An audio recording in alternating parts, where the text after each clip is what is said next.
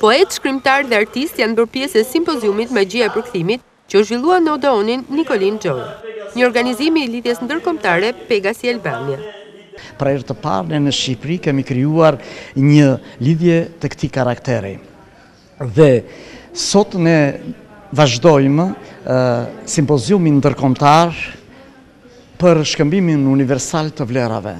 Në disa seanca. Seancën e parë e zhvilluam dje në qytetin e Tiranës, ku si objekt dhe synim kryesor kishte Odeoni i fjalës së figuruar dhe artistike dhe profile.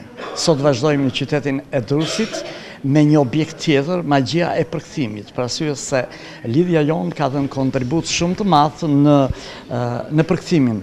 Qëllimi i këtij aktiviteti ishte nxjerrja në pah e prurjeve të letërsisë bashkëkohore nëpërmjet botimit të vëllimit të katërt të antologjisë, ku përfshihet krijimtaria e treqind e një poetëve dhe shkrimtarëve nga tetëdhjetë e tre vende të ndryshme të botës. Në çdo tre-katër vjet nxjerrim një antologji poetike korsi e hapur, ku përmblidhen poetë dhe shkrimtarë nga gjithë vendet e botës, kryesisht në gjininë e poezisë.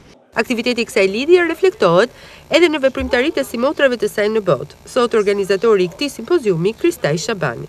Këto veprimtari zhvillohen në bashkëpunim me shoqata simotra, siç është Lidhja e Shkrimtarëve të Botës me qendër në Ohio të Shteteve të Bashkuara të Amerikës, me Shoqatën Kulturore Boras të Suedisë, Migjeni, me Klubin Poetik ABC të Shkupit që janë prezent dhe sot në simpozium.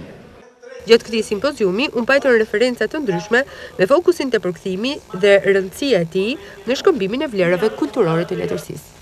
datës apo ditës njëzet e tre korrik.